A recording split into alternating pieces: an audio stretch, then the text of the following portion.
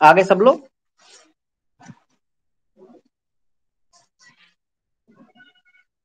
Recording on हो गया है ना? यस सर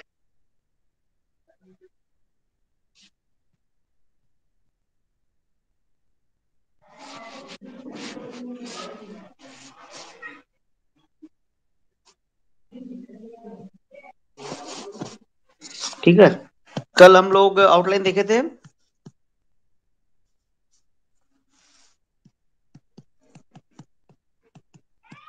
यस सर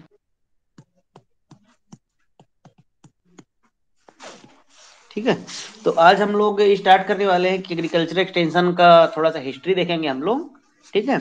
मतलब वर्ड कहाँ से आया है कैसे हुआ है उसका प्रस्तावना देखेंगे इसके क्या ऑब्जेक्टिव है, क्या इसका पैराडाइम है, क्या फ़ंक्शंस होते हैं, ये सब हम लोग देखेंगे। ठीक है?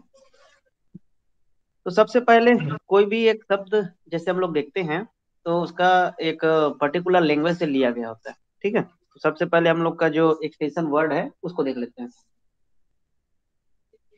एक, आप लोग नाम से ही समझ गए होंगे कि एक्सटेंशन है मतलब दो शब्दों से मिल करके बना होगा। ठीक है? तो ये हमारा एक्सटेंशन जैसे हम लोग देखते हैं। तो ये हम लोग का कौन से लैंग्वेज में है अभी? इंग्लिश पे लिखा हो। लेकिन ये ओरिजिनली कौन सा वर्ड है? ये हमारा लैटिन वर्ड है। ठीक है? लैटिन वर्ड है। तो अब उसमें अब लैटिन वर्ड में जाएँगे तो दूसरा हो जाएगा इसका मीनिंग एक्स मीन्स होता है आउट ठीक है? और उसके बाद टेंसियो मीन्स होता है स्ट्रेचिंग ये कौन सा भाषा है हम लोग का? लैटिन। ठीक है? एक्सटेंशन में टी आता है। एक्सटेंशन में टी आता है इसलिए ये क्या वर्ड हो गया? लैटिन ठीक है? ये हम लोग का हो गया एक्सटेंशन जो है लैटिन भाषा से लिया गया है जिसका एक पर्टिकुलर मीनिंग होता है। एक्स मीन्स होता है आउट टेंसियो मीन स्ट्रेचिंग मतलब जैसे हम लोग एक्सटेंशन वायर देखें आप लोग एक जगह दूसरे जगह अपने को कनेक्शन ले जाना रहता है तो उसके लिए हम लोग स्ट्रेचिंग आउट करते हैं उसको। वायर लंबा फैलाते हैं तो उसी से लिया गया है। अब इस वर्ड की उत्पत्ति कहाँ से हुई ये हम लोग देखते हैं ठीक है? तो उसके लिए आप लोग को तीन चीज़ें जानना पड़ेगा। सबसे पहले आप लोग को जानना पड़ेगा उसका मतलब ईयर लिखा देता हूँ 1866 ठीक है? 1866 एक ईयर है इसमें हुआ था एक्सटेंशन वर्ड वर्ड एक हम लोग के वैज्ञानिक थे, उनका नाम था जेम्स स्टुअर्ट। James Stuart. ठीक है? जेम्स स्टुअर्ट जी थे, उन्होंने एक्सटेंशन वर्ड की खोज किया था। कहाँ किया था? ये पेपर में आता है।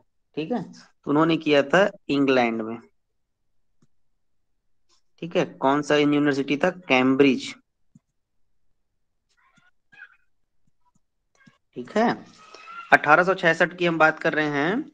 जेम्स स्टुअर्ट जी थे, उन्होंने सबसे पहले एक्सटेंशन वर्ड का यूज़ किया था। कहा किया था? कैम्ब्रिज में। ठीक है? तो इस वजह से इनको क्या बोलना चाहिए हम लोग को? Father of university extension. हाँ एक चीज़ मैं बताना भूल गया। इन्होंने जब एक्सटेंशन वर्ड का यूज़ किया था, एक्सटेंशन वर्ड ना मेडिकल का भी एक्सटेंशन होता है एग्रीकल्चर का भी होता है और इंजीनियरिंग का भी होता है सभी एरिया में होता है ठीक है? सभी डिपार्टमेंट में होता है एक्सटेंशन करना। तो उन्होंने सबसे पहले यूज़ किया था वो था यूनिवर्सिटी एक्सटेंशन एक सभा को संबोधित कर रहे थे उसमें उन्होंने किया था। तो पहला जो वर्ड था एक्सटेंशन का कहाँ से आया? यूनिवर्सिटी एक्सटेंशन समझ गए इस बात को? ठीक है? तो सबसे पहले वर्ड का इस्तेमाल यूनिवर्सिटी एक्सटेंशन हुआ था, वो था अठारह सौ छियासठ अब ये ना पेपर में आया था 2018 का जो सीटी हुआ था ना, उसमें एक्सटेंशन वर्ड जो है, सबसे पहला कहाँ से लिया गया? तो यूनिवर्सिटी एक्सटेंशन से लिया गया? बन गया क्वेश्चन आप लोग से? अब उसके बाद ये होता है, ये तो हो गया हम लोग का एक्सटेंशन वर्ड की बात हुई। अभी सिर्फ़ एक्सटेंशन वर्ड बोला ना, अब उसके बाद दूसरा वर्ड आता है थोड़ा सा आगे बढ़ते हैं इवोल्यूशन होते जाता है, बढ़ते जाते हैं। अब आ जाता है हम लोग का एक्सटेंशन को हम लोग क्या यूज़ करते हैं? एजुकेशन के रूप में। ठीक है? एक्सटेंशन एजुकेशन एक्सटेंशन एजुकेशन कब आया था? 1800 तिहत्तर में 1873 में। पहले एक्सटेंशन आया, फिर बोले कि एक्सटेंशन का यूज़ हम कैसे करें? तो फिर वह कैम्ब्रिज यूनिवर्सिटी वाले जो थे, फिर से उन्होंने ये बोला कि एक्सटेंशन को एज हम लोग क्या यूज़ करेंगे? एजुकेशन के रूप में यूज़ करेंगे। ठीक है? समझ आया ये चीज़? Yes. हम्म। Yes. अब उसके बाद आप लोग को पता है कि यूएसए वाले जो हैं वो लोग बोलते हैं एक्सटेंशन को एक्सटेंशन एक सर्विस है। ठीक है? एक्सटेंशन सर्विस है। जैसे हम लोग एक्सटेंशन को एजुकेशन के रूप में यूज़ करते हैं इंडिया में इंग्लैंड में भी एजुकेशन के रूप में करते हैं लेकिन यूएसए वाले लोग किसी का बात मानते नहीं उन लोग अपना चलाते हैं। तो लोग क्या बोलते हैं एक्सटेंशन को? एज अ सर्विस तो पेपर में भी आ जाता है कि एक्सटेंशन एज अ सर्विस कौन से कंट्री में माना जाता है। तो हम लोग का क्या हो जाएगा यूएसए ये वाला आप लोग को विजिबल है ना कलर कि ब्लैक में लिखूं। नहीं सर विजिबल है। विजिबल है ठीक है। तो सबसे पहले जैसे एक्सटेंशन वर्ड आया तो पहले 1886 छोटा है एक्सटेंशन इसलिए पहले आया फिर इवोल्यूशन होकर एक्सटेंशन एजुकेशन बना 1873 में फिर उसके बाद यूएसए वाले उसको एक्सटेंशन सर्विस बोलते हैं। ये हो गया हम लोग का थोड़ा सा हिस्ट्री वाला बैकग्राउंड कोई भी सब्जेक्ट होता है वो क्या होता है? आर्ट होता है या फिर साइंस होता है? लोग पढ़े होंगे ना? पढ़े आर्ट होंगे ना? तो ये क्या है हम लोग का? देखो साइंस कितने टाइप का होता है पहले यहाँ देख लेते हैं। साइंस होता है आप लोग का एक होता है बेसिक और एक होता है अप्लाइड बेसिक में जैसे हम लोग कल मैं एग्जांपल बताया था आप लोग का कि जो नाइट्रोजन बना नाइट्रोजन के इन्वेंशन हुआ, वो क्या हो गया? हमारा बेसिक साइंस अब उसको अप्लाई कर रहे हैं ह्यूमन बीइंग के लिए तो वो क्या हो जाएगा हमारा? अप्लाइड साइंस होगा ना? तो ये हो गया बेसिक जो साइंस होता है नेचुरल इवेंट को बोलते हैं हम लोग नेचुरल इवेंट्स ठीक है? अब उसके बाद उसको हम लोग क्या करेंगे? ह्यूमन क्या बोलते हैं ह्यूमन बीइंग के लिए यूज़ करेंगे। ह्यूमन बीइंग के लिए बेटरमेंट के लिए। तो वो हम लोग का क्या कहलाएगा? अप्लाइड साइंस ठीक है? तो इस हिसाब से हमारा एक्सटेंशन क्या होना चाहिए? अप्लाइड साइंस अप्लाइड साइंस ठीक है? अब अप्लाइड में क्या होता है कि ये हम लोग किससे काम करते हैं सबसे ज़्यादा? बिहेवियर से। बिहेवियर से काम करते हैं हम लोग एक्सटेंशन में? मैं आप लोग का बिहेवियर के बारे में स्टडी कर रहा हूँ ना? कि उनका क्या एजुकेशन है एज है उनका बिहेवियर एटीट्यूड कैसा ये सब देखते हैं हम लोग एक्सटेंशन में। तो इसलिए ये क्या हो जाता है? अप्लाइड तो है ही। तो इसको पेपर में नया आ जाता है क्वेश्चन में। ये क्या है? अप्लाइड बिहेवियरल साइंस अगर और हम अंदर डीप में जाएँगे तो। अगर पेपर में आप लोग का बेसिक और अप्लाइड पूछा है तो अप्लाइड आ जाएगा आंसर अगर और डीप पूछा है कहीं जैसे बीएचयू की बात कर रहे हैं तो थोड़ा सा टफ करने के लिए बना सकते हैं। तो एक्सटेंशन एजुकेशन क्या है? अप्लाइड बिहेवियरल साइंस है। ठीक है बच्चों? दो टाइप क्वेश्चन बन जाएँगे? ठीक है? तो ये हो गया हम लोग का क्या एग्रीकल्चर एक्सटेंशन क्या होता है कैसे होता है उसका थोड़ा सा बैकग्राउंड देख लिए। ठीक है? यहाँ तक समझ आया? जी। अब इसके बाद ये सब्जेक्ट है तब फिलोसफी फिलोसफी किसी का भी होता है ना दार्शनिक शास्त्र मतलब वो सब्जेक्ट किस टाइप का काम करता है। तो जो फिलोसफी है इसका तो हम लोग का क्या काम है? टू टीच पीपल हमारा फिलोसफी क्या है? To teach people how to think not what to think जो हमारा एग्रीकल्चर एक्सटेंशन है, उसका फिलोसफी किस सिद्धांत में काम करता है? तो टू टीच पीपल पीपल को क्या करना है? टीच करना है। कैसे करना है? तो उनको how to think not what to think ठीक है? मतलब कैसे सोचना है, ये बताना है। क्या सोचना है, ये नहीं बताना है हमको? बात को समझे? जैसे स्टडी क्या करना है, ये नहीं बताना है हम लोग को। स्टडी कैसे करना है, ये समझाना है हम लोग को एक्सटेंशन के अंतर्गत। किसानों को या फिर फार्मर्स है, जो फार्म वुमन है, या फिर कोई भी हो तो ये हमारा क्या हो गया? फिलोसफी के तहत हम लोग काम करते हैं। क्या है फिलोसफी हमारे एक्सटेंशन का? To teach people how to think not what to think हाँ ठीक है। कैसे सोचना है, ये बताते हैं हम लोग। क्या सोचना है, ये नहीं बताते हैं। अब उसके बाद ये हो गया हम लोग का एक फिलोसफी देख ली अब धीरे से इसका हम लोग देख लेते हैं क्या? ऑब्जेक्टिव ठीक है? ऑब्जेक्टिव देखते हैं इसका हम लोग। ऑब्जेक्टिव में हम लोग का है to develop to develop farmers farmers का डेवलप हम लोग को करना है डेवलपमेंट करना है फार्मर्स का। तो जैसे मैं डेवलपमेंट की बात करूँ तो तीन चीज़ें होती हैं। एक होता है इकोनॉमिकली ठीक है? उनको इकोनॉमिकली हम लोग को डेवलप करना है ना? उनको इकोनॉमी बढ़ाना है हम लोग को। ठीक है? पैसे के मामले में इकोनॉमिकली हम लोग उनको बढ़ा दिए। फिर उसके बाद सेकंड में आएगा कल्चरली ठीक है? जो जीआई टैग वैग हम लोग देते हैं किसानों को तो उनका कल्चरल संस्कृति समृद्ध होता है। ठीक है? संस्कृति हेरिटेज जो होता है हमारा, उसको संरक्षित करने के लिए हम लोग करते हैं ना इसको। तो हम लोग को किसान में क्या क्या डेवलपमेंट करना है? बाई एजुकेशन एजुकेशन के माध्यम से क्या करना है? उनको इकोनॉमिकली मतलब समृद्ध करना है उनको? ठीक है? आर्थिक रूप से। आर्थिक रूप से करना है क्या हम लोग को? किसान की आर्थिक स्थिति बढ़ानी है, उनके कल्चरली मतलब सामाजिक सांस्कृतिक सांस्कृतिक रूप से समृद्ध बनाना है और सोशली सामाजिक रूप से भी उनका जो स्तर है, जो किसानों का स्तर हम लोग समाज में देखते हैं ना कि बहुत उनको निम्न वर्ग में देखा जाता है, ऐसे हमारे समाज में पाया गया है तो उनको समाज में एक बेहतर हम लोग स्टेटस दिला सके कि किसान भी अगर हर चीज़ आसान होता तो हर कोई किसान होता, ठीक है? तो इसलिए हमको उनका ऑब्जेक्टिव हमारा एक्सटेंशन का ये है तीन चीज़। हमको इकोनॉमिकली कल्चरली सोशली उनको डेवलपमेंट करना है। कैसे करेंगे? एजुकेशन के द्वारा करेंगे। तो ये हमारे क्या हो गए? उद्देश्य। ठीक है बच्चों, उद्देश्य समझ गए? हम्म। अब उसके बाद जाते हैं हम लोग इसके फ़ंक्शन फ़ंक्शन कैसे होते हैं? मतलब इसके कार्य कैसे करते हैं? ये देखते हैं हम लोग। तो फ़ंक्शन में हम लोग को क्या करना है? टू ब्रिंग डिजायरेबल चेंज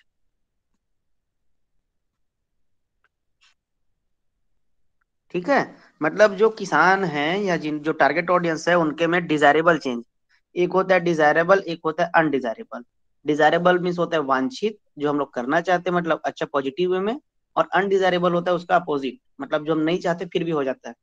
जैसे समाज में हम लोग मोबाइल का मोबाइल को लाए तो हम लोग का डिजायरेबल चेंज था कि हम लोग कम्युनिकेशन के थ्रू जुड़े। लेकिन कई लोग मोबाइल का गलत उपयोग करते हैं तो वो हम लोग का क्या हो जाएगा? अनडिजायरेबल चेंज हो गया है। उसकी वजह से बच्चे लोग बिगड़ रहे हैं ना बहुत सारे गेम्स खेल रहे हैं। समझ गए मेरी बात को? Yes. तो हमको क्या करना है किसानों के में डिजायरेबल चेंज करना है जो हम लोग चाहते हैं वांछित वाले। तो किस टाइप से करेंगे हम लोग? इसको भी तीन टाइप से करेंगे मेजरली नॉलेज को क्या करेंगे? इनरीच करेंगे ठीक है? नॉलेज को इनरीच करेंगे फिर उनके बाद स्किल का क्या करेंगे? अपग्रेड करेंगे। और उसके बाद उनका क्या करना है? एटीट्यूड जो रहता है उसको क्या करना है? हम लोग को फेवरेबल बनाना है। अभी भी आप लोग छत्तीसगढ़ में देखे होंगे ट्रांसप्लांटिंग किया जाता है क्या बहुत ज़्यादा? ट्रांसप्लांटिंग अभी भी बहुत लोग नहीं करते। ठीक है? मैं जैसे बलौदाबाजार ज़िले से आता हूँ तो वहाँ पर मैंने देखा है कि अभी तक ट्रांसप्लांटिंग यूज़ नहीं करते हैं लोग क्योंकि लेबर की कमी है ऐसा टाइप का। तो लोग का एटीट्यूड फेवरेबल नहीं है। ट्रांसप्लांटिंग में टाइम लगता है पानी चाहिए रहता है ऐसे करके। तो हम लोग को फेवरेबल एटीट्यूड बनाना है उनका। तो ये हो गए हमारे फ़ंक्शन इसको बोलते हैं हम लोग के ए एस ठीक है? नॉलेज एटीट्यूड और स्किल फ़ंक्शन भी समझ में आया? यस सर यस सर अब उसके बाद हम लोग एजुकेशन के बारे में बताया मैं आप लोग को एक्सटेंशन को क्या बताया था? एज एजुकेशन बताया था ना? तो अब हम लोग देख देखते हैं कि एक्सटेंशन एजुकेशन क्या होता है। एजुकेशन के भी टाइप्स होते हैं, किस टाइप के एजुकेशन है, ठीक है? तो हम लोग का क्या है एजुकेशन क्या होता है? एजुकेशन इज़ अ प्रोसेस है, ठीक है? क्या चीज़ का प्रोसेस है? डेवलप फार्मर्स कैपेबिलिटी उनके में मतलब जो क्षमता का निर्माण करना है हम लोग को कैपेसिटी जो होता है ना उन लोग का कैपेबिलिटी उनका क्षमता, जिससे वो क्या करें, अच्छे से अच्छे टेक्नोलॉजी का यूज़ कर सकें, या फिर अच्छे से निर्णय ले सके, क्षमता का निर्माण करना हम लोग के किसके द्वारा करते हैं हम लोग ट्रेनिंग उनका स्किल बढ़ा करके, ये सब करते हैं ना? तो एक्सटेंशन एजुकेशन क्या हो गया हमारा? प्रोसेस है। क्या चीज़ का प्रोसेस है? डेवलपमेंट फार्मर्स कैपेबिलिटी ठीक है? On there on there one situation हर जगह के लिए अलग अलग हम लोग एक्सटेंशन वर्क प्लान करते हैं। एक पर्टिकुलर एरिया के लिए टारगेट ऑडियंस को देख करके कि इनको कैसे हमको समझाना है, ठीक है? उनके सिचुएशन कमांड देना है उनको। किसानों का समस्या का समाधान करना है उनके ही सिचुएशन पे। ठीक है तो एक्सटेंशन एजुकेशन हो गया। अब उसके बाद आते हैं टाइप्स ऑफ़ एजुकेशन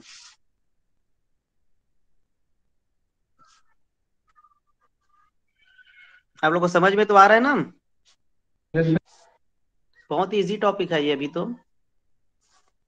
तो आप लोग का एजुकेशन का जैसे मैं टाइप की बात करूँ तो पहला होता है फॉर्मल फॉर्मल ड्रेस आप लोग यूज़ करते हैं?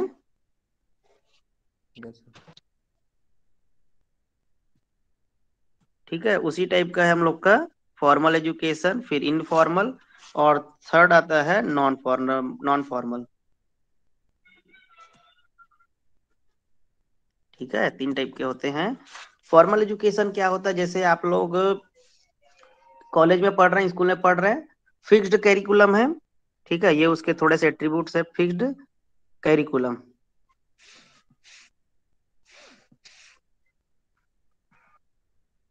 fixed curriculum chronological graded chronological graded मतलब जैसे आप लोग प्राइमरी एजुकेशन करते हैं, फिर उसके बाद जाते हैं आप लोग मिडिल में मिडिल के बाद हाई स्कूल हायर के बाद हायर सेकेंडरी फिर कॉलेज ठीक है? तो एक पर्टिकुलर टाइम से डिपेंडेंट है ये। क्रोनोलॉजिकल फॉलो करते हैं हम लोग।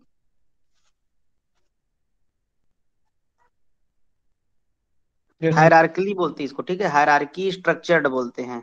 ठीक है? आप लोग को पर्टिकुलर टीचर होते हैं। क्लास वर्ग एक के होते हैं वर्ग दो के वर्ग तीन के टीचर अलग अलग टीचर होते हैं सबके लिए। एक हायरार्की मेंटेन होता है कि पहले असिस्टेंट प्रोफेसर फिर प्रोफेसर, फिर उसके बाद डीन, डायरेक्टर, फिर वाइस चांसलर सर। तो ये सब क्या होता है? हायरार्की स्ट्रक्चर्ड होते हैं। ठीक है? हायरार्की बना हुआ है हम लोग का, उपक्रम बना हुआ था पद क्रम ठीक है? और ये होते हैं हाईली इंस्टीट्यूशनलाइज्ड। ठीक है? मतलब इंस्टीट्यूशन में ही होता है ये।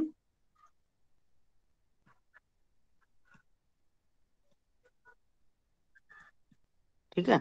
तो ये इसके क्या होगा चार हम लोग के एट्रीब्यूट्स हो गए। मतलब ये चार चीज़ हुआ तभी हम लोग को फॉर्मल एजुकेशन कहलाएगा वो। ठीक है? इसमें सिलेबस होता है फिक्स्ड कैरिकुलम है क्रोनोलॉजिकल ग्रेडेड है हायरार्की स्ट्रक्चर्ड है हाईली इंस्टीट्यूशनलाइज्ड है। ये चार उसके क्या हो गए हमारे? फॉर्मल एजुकेशन के एट्रीब्यूट हो गए। समझ गए इसको? समझ गए? अब उसके बाद हम लोग का आता है इनफॉर्मल ठीक है? फॉर्मल के बाद आता है इनफॉर्मल जैसे आप लोग डेली लाइफ एक्सपीरियंस बड़ों का आदर करना कहाँ पर सिखाया गया आप लोग को? घर में घर में सीखेंगे आप लोग अपने डेली लाइफ एक्सपीरियंस से। कैसे बड़ों से बात करना कैसे उनका आदर करना है। घर में सीखे ना आप लोग? कोई स्कूल में अलग से इसके लिए सब्जेक्ट नहीं होता है पढ़ाया नहीं जाता है ठीक है? होम या फिर आप लोग का वर्क प्लेस है वहाँ पर आप लोग सीखते हैं ठीक है?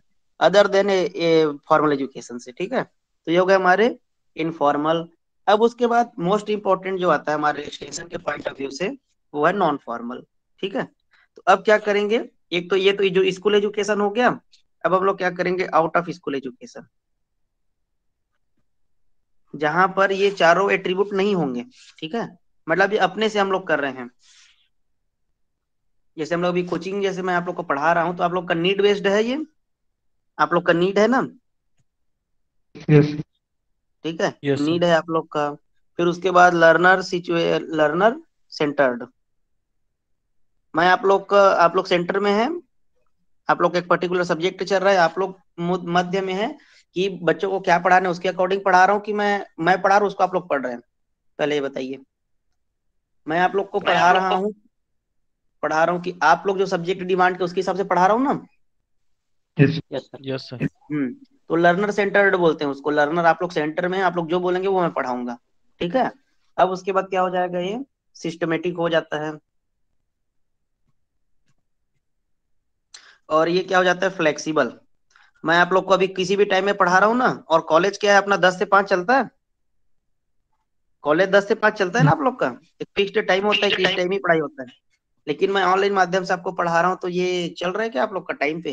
पर्टिकुलर अपने अकॉर्डिंग फ्लेक्सिबल है ना? तो ये हो गया हमारा नॉन फॉर्मल तो इस हिसाब से एग्रीकल्चर एक्सटेंशन कौन से एजुकेशन के अंतर्गत आएगा? बताइए। नॉन फॉर्मल इनफॉर्मल इनफॉर्मल कैसे होगा?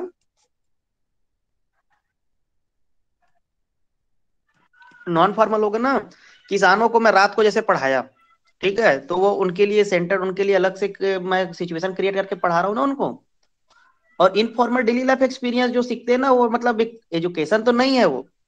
ठीक है इनफॉर्मल एजुकेशन होता नहीं है, वो सीख जाते हैं हम लोग, लेकिन उसके एक पर्टिकुलर नाम देना पड़ेगा ना, कि अब घर में माता पिता से कैसे बात करना है, बड़ों का आदर कैसे करना है नेशनल एंथम के टाइम में आपको जब खड़े हो जाते हैं, सम्मान करते हैं तो ये किसी दूसरे को देख करके सीखे ना हम लोग, कि आपको स्कूल में मतलब पर्टिकुलर पढ़ाया जाता है। लेकिन सब बुक में? में इनफॉर्मल लिखा हुआ है। कौन से बुक में? आप मुझे भेजेंगे उसका फ़ोटो अरुण कत्यान का। हाँ सर मैं भेज हाँ आप आप मुझे भेज दीजिएगा मैं उसमें चेक करके आपको बता दूँगा ठीक है? अरुण का है तो अगर सर मैं हाँ। पूछ रही थी अगर क्वेश्चन अगर इससे पूछा जाए तो आंसर नॉन फॉर्मल सही होगा ना? हाँ नॉन फॉर्मल है ये। एजुकेशन के अगर एरिया पे बात करेंगे तो नॉन फॉर्मल ही होगा। क्योंकि हम लोग इसको सिचुएशन क्रिएट करके बनाते हैं ना। और डेली लाइफ एक्सपीरियंस से सीखते हैं तो एक्सटेंशन तो डेली लाइफ एक्सपीरियंस से कैसे सीखेंगे हम लोग? एक पर्टिकुलर प्रोग्राम लॉन्च करना पड़ेगा ना हमको। ठीक है? यस सर तो ये उसको मैं देखिए हाँ एक बात और बता देता हूँ आप लोग को मैं कि जब भी आप कोई से बुक का रेफरेंस देंगे तो बुक जो होता है ना वो दो ही बुक को फॉलो किया जाता है पेपर में। ठीक है? एक होता है स्टैंडर्ड हैंड बुक होता है और एक होता है आप लोग का टेक्स्ट बुक दो ही बुक को फॉलो किया जाता है। और उनका तैन जो बुक है, वो बुक नहीं है, वो नोट्स है। ठीक है? वो कंपाइलेशन किया गया हुआ है। किसी के द्वारा लिखा नहीं गया है वो। ठीक है? नेवरा सुंडा का बुक भी वन लाइनर है और आर के शर्मा का भी बुक वन लाइनर है। तो ये कंपाइल किया गया है। ये कोई स्टैंडर्ड बुक नहीं है। ठीक है? आपको नेक्स्ट टाइम के लिए बता रहा हूँ। उसको पढ़ रहे हो? बहुत अच्छी बात है। मैं कुछ नहीं बोल रहा हूँ उसके लिए। लेकिन फिर भी जब भी आप क्वेश्चन पेपर में आप देखने जाएँगे कोई भी क्वेश्चन को दवापत्ती करेंगे तो वो जीएल रे का जैसे बुक है स्टैंडर्ड बुक हम लोग एक्सटेंशन में मानते हैं। अभी तो हैंड बुक आ गया है तो उसका रेफरेंस दिया जाता है, ठीक है?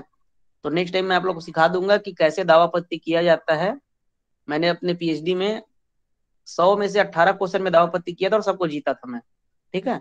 उस टाइप के मेरे पास बुक्स थे, उसका रेफरेंस दिया था इसलिए। नहीं तो छोटे मोटे जो बुक्स होते हैं, उनका देंगे ना तो वो कंसिडर नहीं करते, क्योंकि वो नोट्स टाइप के हैं। ठीक है बच्चों? ओके सर यस सर ये हो गया हमारा एजुकेशन समझ गए? ठीक है? अब उसके बाद हम लोग एक नया टॉपिक Yes, देखते हैं इसी में ही है। Teaching learning process teaching learning teaching means क्या होता है हिंदी में?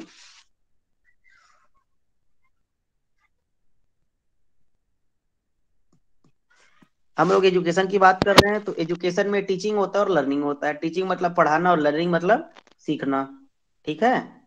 तो टीचिंग लर्निंग एक क्या है? प्रोसेस है। तो हम लोग के अरे मैं एक चीज़ तो लिखाना भूल गया आप लोग को। आप लोग यूनिवर्सिटी एक्सटेंशन फादर लिखे ना जेम्स स्टुअर्ट को? हम्म। हम्म। चलो मैं लास्ट टाइम लिखा दूँगा उसको ठीक है? तो टीचिंग लर्निंग प्रोसेस है किसने दिया था? लिगन्स ने दिया था। जेपी लिगन्स एक हैं। लास्ट में फादर्स लिखाऊँगा ना, तब आप लोग लिख लीजिएगा इसको। जेपी लिगन्स ठीक है? जेपी लिगन्स साहब थे।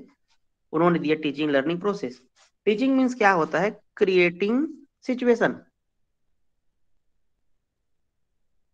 क्रिएट सिचुएशन या फिर इन्वायरमेंट जैसे मैं आप लोग के लिए क्या किया हूँ? इन्वायरमेंट क्रिएट किया हूँ, आप लोग को इस माध्यम से पढ़ा रहा हूँ अवेयरनेस दिया, आप लोग को लाइन से पर्टिकुलर सिलेबस के अकॉर्डिंग पढ़ रहे हैं हम लोग। तो मैं क्या किया हूँ? क्रिएट सिचुएशन किया हूँ। ठीक है? अटेंशन इंटरेस्ट डिज़ायर आप लोग का देख करके मैंने क्या किया है? एक सिचुएशन क्रिएट किया। तो ये हो गया हमारा टीचिंग लर्निंग क्या होता है हमारा? सेल्फ एक्टिविटी होता है। आप लोग अपने से सीखते हैं ना? खुद से सीखना पड़ता है। लर्निंग बाय डूइंग का सिद्धांत आप लोग को पता है ना? लर्नर्स एक्टिव आप लोग को सीखना है तो आपको खुद आगे आना पड़ेगा, ठीक है? दूसरा तो आप, मैं आपको टीचिंग करके चले जाऊँगा, लेकिन आपको खुद का सेल्फ एक्टिविटी नहीं होगा, तब तक आप उसको सीख पाएँगे क्या? नहीं सीख पाएँगे, ठीक है? और प्रोसेस क्यों है ये? क्योंकि ये कोर्स ऑफ़ प्रोसीजर है कोर्स ऑफ़ प्रोसीजर ठीक है? टीचिंग लर्निंग कैसे होता है, अभी मैं बताऊँगा आप लोग को तो आपको समझ में आएगा। तो टीचिंग हमारा क्या है? क्रिएट सिचुएशन लर्निंग क्या है? सेल्फ एक्टिविटी है। और टीचिंग लर्निंग प्रोसेस है। Process means course of procedures मतलब एक पर्टिकुलर प्रोसीजर को हम लोग फॉलो करते हैं। ठीक है? टीचिंग लर्निंग प्रोसेस किसने दिया था? जेपी लिगन्स जेपी लिगन्स ठीक है? अब उसके बाद हम लोग आ जाते हैं। इफ़ेक्टिव लर्निंग हम लोग की बात करेंगे हम लोग। ठीक है? किस चीज़ की बात कर रहे हैं? इफ़ेक्टिव लर्निंग जैसे आप लोग अभी लर्न कर रहे हैं तो उसमें पाँच ऐसे तत्व हैं मतलब फाइव एलिमेंट्स हैं। कितने एलिमेंट्स हैं?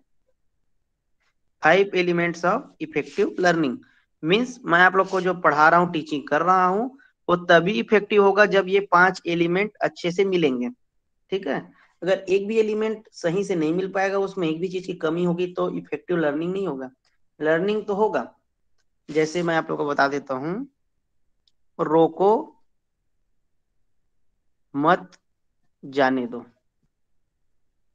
ठीक है? ये मैं रोकने के लिए बोल रहा हूँ कि जाने के लिए बोल रहा हूँ? कैसे जानेंगे आप लोग? सर उसके कॉमा के अकॉर्डिंग सर उसके कॉमा के अकॉर्डिंग हाँ कॉमा अभी लगाया हाँ। वही बोल रहा हूँ। तो ये अभी आप लोग का लर्निंग हुआ क्या सही से?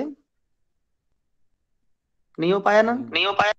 आधा हुआ मतलब आधा कंप्लीट हुआ पूरा नहीं हो पाया ना? तो मैं जैसे ऐसे लिखूँगा, रोको मत जाने दो। ठीक है? रोको मत जाने दो, उसको रोक दिया। और अगर इसको मैं यहाँ पर लगा दूँगा, रोको मत जाने दो। ठीक है? तो ये हम लोग का लर्निंग का जो टाइप होता है, वो भी देखते हैं कि वो कैसे इफ़ेक्टिव होता है। ठीक है? जब तक मैं इंस्ट्रक्शन अच्छे से नहीं दूँगा, तब तक आप लोग सीख पाएँगे क्या? नहीं सीख पाएँगे। तो फाइव एलिमेंट मैं यहाँ पर बनाता हूँ लाइन से। सबसे पहले क्या होना चाहिए? लर्नर जैसे आप लोग हैं अभी ठीक है? पहला एलिमेंट क्या होना चाहिए? लर्नर ठीक है? अब उसके बाद उसके लिए लर्नर को पढ़ाने के लिए कौन होगा? टीचर अब उसके बाद मैं आप लोग को एक पर्टिकुलर सब्जेक्ट पढ़ा रहा हूँ। तो मेरे पास क्या है? सब्जेक्ट का मैटर है कि मुझे क्या पढ़ाना है। ठीक है? फिर उसके बाद आ जाएगा हम लोग का फ़िज़िकल फैसिलिटी आप लोग एक पर्टिकुलर रूम पे बैठे होंगे, जहाँ पर चारों तरफ़ दीवार होगा। ठीक है? पंखा चल रहा होगा लाइट्स लगे होंगे, ठीक है? फ़िज़िकल फैसिलिटी फिर उसके बाद आ जाएगा teaching aids A I D S ठीक है? तो ये हमारे क्या हो गए? पाँच एलिमेंट हो गए। तो पहला क्या है? लर्नर फिर लर्नर को पढ़ाने वाला कौन है? टीचर फिर टीचर के पास क्या है?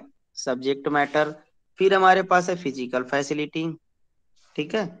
फिर उसके बाद हो गया हमारा टीचिंग एड्स अब देखिए सबसे पहला लर्नर है तो लर्नर का क्या है? सेंटर एलिमेंट बोलते हैं इसको। इसके बिना टीचिंग लर्निंग प्रोसेस कंप्लीट हो सकता है क्या? नहीं हो सकता। तो ये हमारे लर्नर हो गए सेंटर एलिमेंट है ये। ये पेपर में आता है कि इफ़ेक्टिव लर्निंग में सेंटर एलिमेंट क्या होता है? ठीक है? तो ये हो गया हमारे लर्नर की बात हमने किया। ठीक है लर्नर का संबंध है टीचर से, ऐसे करके ये पूरा बनेगा, ठीक है? सबके साथ क्या है? कोरिलेटेड रहेगा ये। ये बना लीजिए, फिर उसके बाद मैं सबको समझाता हूँ कि कैसे कंप्लीट हो गए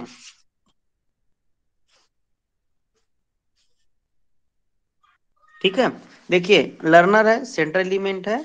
लर्नर को सब्जेक्ट मैटर के बारे में पता होना चाहिए। जैसे आप लोग को पता है कि बीएचयू का एक पेपर उसके अकॉर्डिंग सर हम लोग को पढ़ा रहे हैं। ठीक है? और हिंदी में पढ़ा रहे कि इंग्लिश में पढ़ा रहे वो सब लर्नर को पता होना चाहिए, वो वेल नोन होना चाहिए। फिर उसी टाइप हमारे टीचर जो है, उनको ही पता होना चाहिए कि टारगेट ऑडियंस कौन से बैच की है, कौन से बैकग्राउंड से आई हुई है, उनका एज क्या है एजुकेशन क्या है क्वालिफिकेशन क्या है, ये सब पता होना चाहिए टीचर को। फिर उसके बाद पर्टिकुलर सब्जेक्ट मैटर होता है, जैसे राइस में ब्लास्ट लग गया है, ठीक है? तो लर्नर जो किसान है अब उनको सिखाएगा कौन? टीचर मतलब जो एक्सटेंशन एजेंट होते हैं हमारे आर ई आर हो गया, ठीक है, आर ए ई ओ। मैं फार्मर के केस में बता रहा हूँ ना, सब जगह फॉलो नहीं होगा ये, ठीक है? फिर उसके बाद उसके पास सब्जेक्ट मैटर होगा कि ब्लास्ट के बारे में वो लिटरेचर लाएगा, ठीक है लिटरेचर तो जैसे पढ़े लिखे किसान है तो मैं उनको लिटरेचर दूँगा, समझ जाएँगे। और अगर कम पढ़े लिखे हैं या बिल्कुल भी पढ़े लिखे नहीं है तो उनको मैं क्या दिखाऊँगा वीडियो के माध्यम से दिखाऊँगा कि ऐसा होता है करके? तो वो जब कम्युनिकेशन के टाइप पढ़ेंगे, उसमें देख लेंगे हम लोग। तो उनके पास क्या होता है? सब्जेक्ट मैटर अब मैं गाँव गया। अब गाँव में तालाब के किनारे ठीक है पेड़ देखे आप लोग? पीपल का पेड़ ऐसा होता है। तो वहाँ पर फ़िज़िकल फैसिलिटी जैसे मैं देखूँ अगर कम खर्च में हम लोग को किसानों को एकत्र करना है तो उन लोग प्राकृतिक वातावरण में ज़्यादातर रहते हैं किसान लोग गाँव में। पेड़ के नीचे मतलब एकत्र होकर के बैठे रहते हैं ना? यस सर गाँव पे हम लोग जाएँगे तो। तो उनके लिए वो फ़िज़िकल. फैसिलिटी वहाँ पर हम लोग को प्रोवाइड कराना पड़ेगा ठीक है? कि वहाँ पर माइक वाइक का व्यवस्था कर दिए हम लोग किसानों को समझाने के लिए वीडियो वीडियो लेके आके दिखा रहे हैं ठीक है? तो ये हमारा हो गया फ़िज़िकल फैसिलिटी जैसे स्कूल में आप लोग को पढ़ाने की बात करूँ तो एक पर्टिकुलर रूम होता है और उसमें पंखे लाइट्स लगे हुए होते हैं। अगर आप छत में पढ़ रहे हैं मतलब रूम पे पढ़ रहे ऊपर में छत नहीं है तो क्या पढ़ाई अच्छे से होगा? नहीं हो पाएगा ना? नहीं नहीं हो पाएगा। Yes. तो फ़िज़िकल फैसिलिटी होना बहुत ज़रूरी है। उसके बिना हम लोग पढ़ा नहीं सकते किसानों को या खुद नहीं पढ़ सकते। अब हो गया टीचिंग एड्स जैसे मैं ऑडियो रेडियो के माध्यम से ऑडियो सुना सकता हूँ ठीक है? ऑडियो विजुअल टीवी के माध्यम से उनको दिखा सकता हूँ। या फिर चाक बोर्ड है। चाक बोर्ड के माध्यम से भी उनको सिखा सकता हूँ ना मैं? या bulletin bulletin paper newspaper के माध्यम से हम लोग उसको टीचिंग कर सकते हैं। जैसे मेरे पास अभी टीचिंग एड क्या है? टैब है। ठीक है? टैब के माध्यम से पढ़ा रहा हूँ आप लोग को। और फ़िज़िकल फैसिलिटी मेरे पास इंटरनेट की कनेक्शन है आप लोग के पास भी कनेक्शन है। तो ये हो गया हमारा क्या? इफ़ेक्टिव लर्निंग अगर ये पाँचों अच्छे से मिलेंगे ठीक है? तब जाकर के क्या होगा हमारा? इफ़ेक्टिव होगा। अदरवाइज़ एक भी कम ज़्यादा हुआ लर्नर हमारा समझने वाला नहीं है। या टीचर का मन नहीं है पढ़ाने का तो अच्छे से हो पाएगा क्या? No. तो ये हमारा हो गया। इसको भी किसने दिया है हमारे? लिगन्स साहब ने। लिगन्स 1961 अगर आप सीईटी की तैयारी कर रहे हैं तो आपको पाँच टॉपिक पता होना चाहिए। अगर आप बीएचयू की तैयारी कर रहे हैं तो किसने दिया ये भी पता होना चाहिए। एक्सटेंशन में ज़्यादातर ना जेपी लिगन साहब ने दिया है, ठीक है? सब जगह नहीं, ज़्यादातर इन्होंने दिया। तो ये नाम आप लोग को एक्सटेंशन पढ़ रहे तो याद होना चाहिए, ठीक है? Yes. समझ गए इस चीज़ को? अच्छे से क्लियर हुआ? क्लियर हुआ। यस सर अब उसके बाद हम लोग देखते हैं एक्सटेंशन के पैराडाइम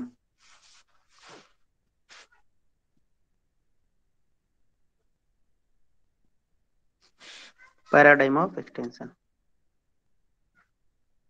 मतलब ये किस क्षेत्र में या इसका पैटर्न बोल दूँ मैं या मॉडल्स बोल दूँ? या मॉडल्स बोल सकते हैं इसको ठीक है? मतलब किस क्षेत्र में काम करता है? कोई भी सब्जेक्ट होता है जैसे हॉर्टिकल्चर है एक आपका फल विज्ञान है पुष्प विज्ञान है सब्ज़ी विज्ञान है प्रिजर्वेशन चार मेजर काम करते हैं ना उन लोग? प्रोडक्शन का काम करते हैं प्रोटेक्शन का काम करते हैं प्रिजर्वेशन का काम करते हैं। वैसे हमारा एक्सटेंशन चार टाइप से काम करता है। कितने टाइप से काम करता है. इमेंसिपेटरी ठीक है? ई एन ऐसे लिखूँगा, समझ जाना एक्सटेंशन लिखा, ठीक है? इमेंसिपेटरी फॉर्मेटिव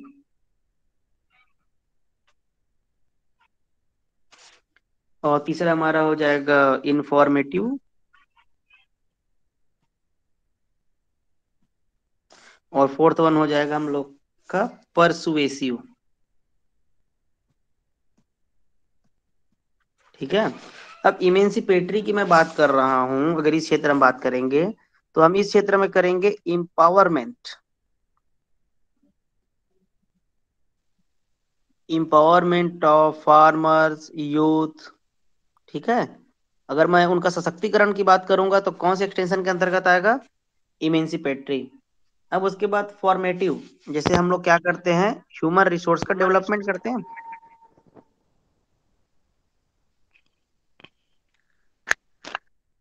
ठीक है? ह्यूमन रिसोर्स डेवलपमेंट जैसे हम लोग ट्रेनिंग देते हैं किसानों को, उनका स्किल बढ़ाने के लिए नॉलेज बढ़ाने के लिए लिटरेचर देते हैं न्यूज़ में एड देते हैं। तो ये हमारा किसमें आ जाएगा? फॉर्मेटिव हम लोग उसका क्या कर रहे हैं? फॉर्मेशन कर रहे हैं, किसानों को सिखा रहे हैं। तो हमारा इमेंसिपेटरी आएगा ई से आएगा तो समझ जाना कि इंपावरमेंट की बात हो रही है। फॉर्मेटिव मतलब कुछ फॉर्मेशन कर रहे हैं मतलब कैसे फॉर्मेशन करेंगे कि किसानों में ह्यूमन रिसोर्स डेवलपमेंट के द्वारा। अब हो गया इन्फॉर्मेटिव इन्फॉर्मेटिव क्या करेंगे? Transfer of technology transfer of technology करते हैं हम लोग? मीडिया के माध्यम से मोबाइल के माध्यम से टीवी के माध्यम से उनको क्या कर रहे हैं हम लोग? इंफॉर्मेशन दे रहे हैं सूचना। ठीक है जैसे आप लोग देखे हैं कि बाढ़ वाढ़ आता है उससे पहले ही अवेयरनेस किया जाता है ना कि आज इस दिन बाढ़ आने वाला है भूकंप आने वाला है। मतलब ऐसा पूर्वानुमान लगाते हैं प्रिडिक्शन करते हैं। फोरकास्टिंग तो ये हमारा किसके अंतर्गत आ जाएगा? इंफॉर्मेटिव इंफॉर्मेशन दे रहे हैं। अब हम लोग का अल्टीमेट ऑब्जेक्टिव क्या है? किसानों को कन्विंस करना है। आपको बताया ना फेवरेबल एटीट्यूड बनाना है। तो ये हो गया हम लोग का क्या? एडवाइजरी वर्क हम लोग देंगे उनको। एडवाइजरी वर्क अगर उनको हम दे रहे हैं तो क्या हो जाएगा? परसुएसिव परसुएसिव मतलब उनको परस्यू करना, ठीक है? कन्विंस करना।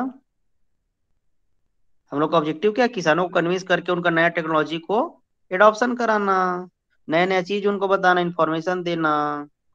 तो ये हमारे पैराडाइम हो गए क्या एक्सटेंशन कितने हो गए? फोर टाइप्स फोर टाइप के। इमेंसिपेटरी की बात करूँगा मीन्स इम्पावरमेंट की बात होगी। फॉर्मेटिव मीन्स उनका ह्यूमन रिसोर्स डेवलपमेंट के द्वारा फॉर्मेशन करेंगे। फिर इन्फॉर्मेशन देंगे ट्रांसपोर्ट टेक्नोलॉजी को। फिर एडवाइजरी वर्क अगर हमको देंगे तो हो जाएगा परसुएसिव एक्सटेंशन इतना चीज़ समझ गए? अब ये चीज़ को लिख लो। Father of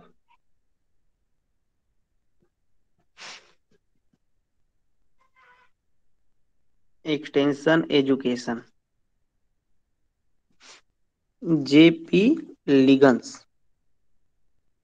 ठीक है फादर ऑफ़ एक्सटेंशन एजुकेशन है। और ये इनको वर्ल्ड में भी बोलते हैं ठीक है? या फिर यूएसए में भी बोल देते हैं। तो ये पेपर में आ सकता है, ठीक है? वर्ल्ड में, यूएसए में, ये एक्सटेंशन एजुकेशन के फादर कौन है? तो जेपी लिगन्स ही हैं। और उसके बाद father of extension in India. ये कौन है हमारे? डॉक्टर के एन सिंह। क्या नाम है इनका? डॉक्टर के एन सिंह। तो तीन टाइप के फादर हो गए। जेम्स स्टुअर्ट जी जो थे वो क्या थे? फादर ऑफ़ यूनिवर्सिटी एक्सटेंशन क्यों बोलते हैं उनको? First word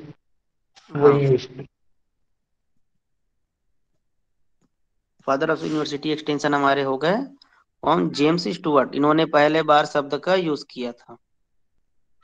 और वो भी कौन सा वर्ड था? यूनिवर्सिटी एक्सटेंशन ठीक है?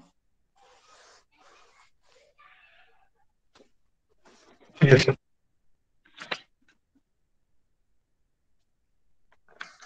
कौन आप एक्सपीरियंस आप लोग को पढ़ा चुका हूँ ना?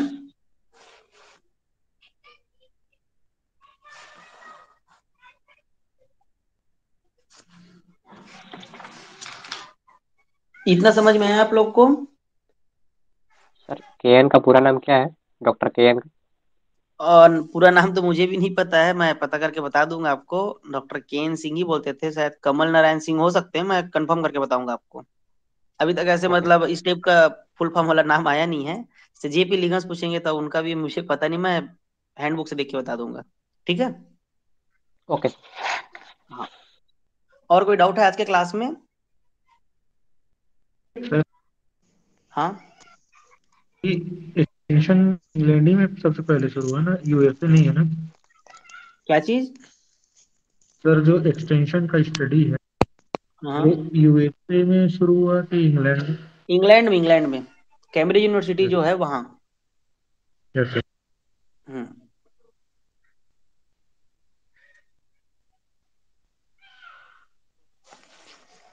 आज का क्लास समझ में आया आप लोग को अच्छे से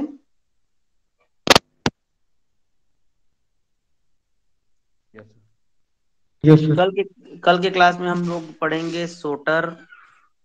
इसका फुल फॉर्म होता है। ए I D C A S पढ़ेंगे एडकास पढ़ेंगे। ठीक है? और उसके बाद एक्सटेंशन के प्रिंसिपल पढ़ेंगे।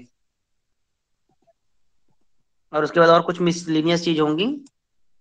क्योंकि ये सब में ना मतलब सोटर है इसमें भी पाँच है टोटल अलग अलग फिर उसके बाद एडकास में भी छह है तो बहुत टाइम लेता है ये। ठीक है? थोड़ा थोड़ा कंफ्यूजिंग है उसको देखेंगे और प्रिंसिपल्स भी इलेवन है ठीक है? तो ये थोड़ा सा टाइम कंज्यूमिंग है तो कल इसको हम लोग देखेंगे ठीक है? तीन चीज़ें।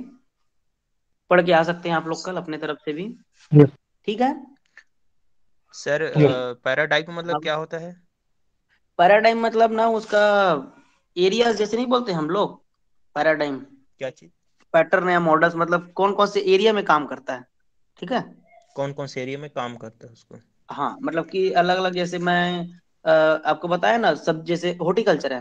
हॉर्टिकल्चर के पैराडाइम क्या क्या होगा जैसे वेजिटेबल मैं वेजिटेबल के एरिया में काम करूँगा सब्ज़ी क्षेत्र में तो वेजिटेबल साइंस हो गया। फूल के एरिया में काम करूँगा फ्लावर्स तो फ्लोरिकल्चर ऐसे करके तो हम लोग चार टाइप के एक्सटेंशन होते हैं। ठीक है? अगर इम्पावरमेंट हम्म। करूँगा मैं महिलाओं का किसानों का तो इमेंसिपेटरी में हम्म। चले जाएँगे। अगर उनको ट्रेनिंग व्रेनिंग दे रहा हूँ फॉर्मेटिव एक्सटेंशन हो जाएगा। इन्फॉर्मेटिव फिर परसुएसिव एडवाइजरी वर्क दे रहे हैं तो, तो ये उसके अलग अलग पैटर्न है।